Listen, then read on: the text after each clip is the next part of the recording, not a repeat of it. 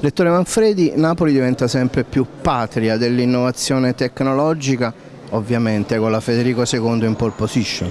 Sì, oggi noi se vogliamo creare sviluppo, occasioni di lavoro per i nostri giovani, miglioramento della qualità della vita dei nostri cittadini, dobbiamo puntare sull'innovazione.